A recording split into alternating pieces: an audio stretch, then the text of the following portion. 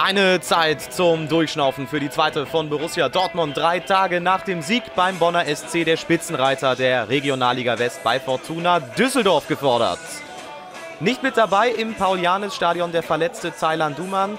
Es sind harte und entscheidende Wochen für den BVB und gerade die zweite Mannschaft von Düsseldorf sah in dieser Saison nicht immer schlecht aus. Gegen die Top-Teams haben 3-0 gegen Rot-Weiß Essen gewonnen und auch im Hinspiel gegen Dortmund gab es ein Unentschieden. Düsseldorf in Weiß, das erste Mal Gefahr für den Dortmunder Kasten, eher zufällig nach diesem Querschläger von Ercan. Die Hausherren sechs Spiele ohne Niederlage und mit zwei Wochen ohne Spiel zuletzt, dementsprechend ausgeruht und mit ordentlich Selbstvertrauen im Tank Lobinger, mit viel Risiko und mit der nächsten Gelegenheit. Knapp 20 Minuten rum, Schiedsrichter Martin Olankiewicz mit dem Pfiff und es gibt Strafstoß für Borussia Dortmund vorausgegangen. Dieser Einwurf, dieser etwas ungeschickte Kontakt an Richmond Tashi. Tobias Raschel übernimmt und macht ihn. Dortmund nutzt die erste richtig große Gelegenheit sofort.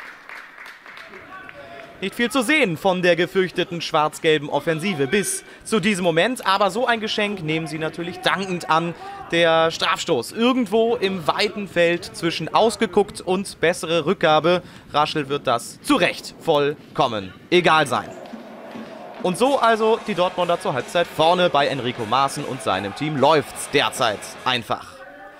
Zu Beginn von Durchgang 2 ähnliche Bilder wie in Abschnitt 1. Der BVB macht sich's beinahe selber schwer.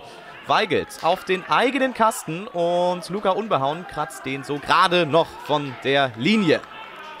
Die Dortmunder offensiv hauptsächlich in Umschaltmomenten gefährlich. Das ist Steffen Tigges, kann alles klar machen. Einmal, zweimal und dreimal.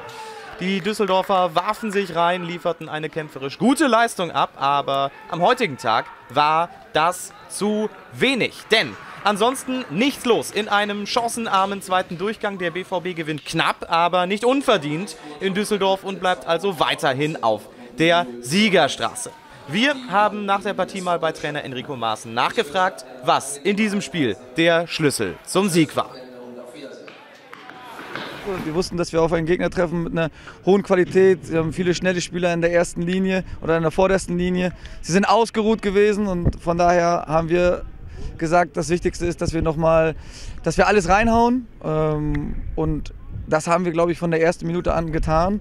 Ähm, das war ein Spiel mit, mit wenig Tormöglichkeiten. Man hat bei uns schon gemerkt, dass wir, dass, wir, dass wir natürlich müde sind, dass wir ungenau in vielen Situationen waren. Das war ein Spiel, geprägt von Umschaltsituationen auf beiden Seiten. Die Windverhältnisse waren auch schwierig, das hat man, hat man gesehen. Also das äh, insgesamt äh, natürlich kein großartiges Fußballspiel war, aber von der Intensität äh, äh war es in Ordnung. Wie gesagt, für uns ging es darum, heute das Spiel zu gewinnen und äh, das haben wir geschafft.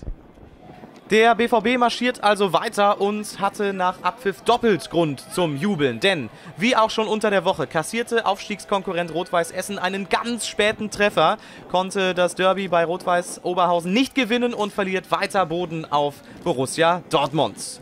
Die haben zwar immer noch ein Spiel mehr als die Essener gespielt, aber eben auch schon neun Punkte Vorsprung. Bei der derzeitigen Formkurve könnte das Meisterschaftsrennen in der Regionalliga schneller als gedacht entschieden sein.